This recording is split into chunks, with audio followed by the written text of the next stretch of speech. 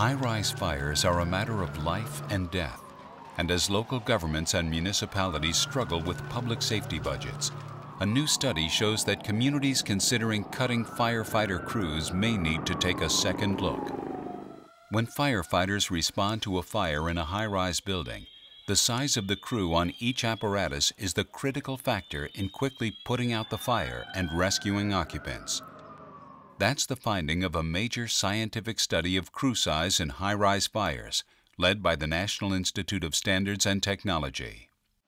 The study measured the time crews, ranging from three to six members, took to complete a series of firefighting and rescue operations 10 stories up. Because it takes them longer to get set up, smaller crews end up fighting larger fires and facing more toxic environments than larger crews. When you get into these high risk, high level uh, emergencies, you need more staffing as far as putting water on the fire, the fire out completing searches, victim rescue, and so forth.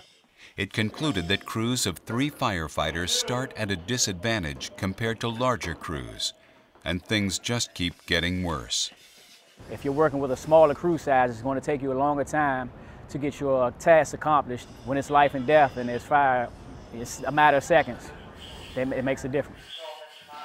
The study also determined that sending fewer engines and trucks each staffed with five or six firefighters, was more effective than sending more vehicles with smaller crews, even when the total number of firefighters was the same.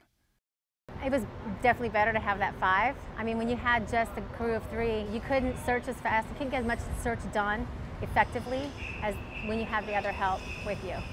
The larger crews can save time by carrying out crucial tasks simultaneously, rather than in sequence. This saves lives, lessens injury to occupants, lowers property damage, and prevents firefighter injuries.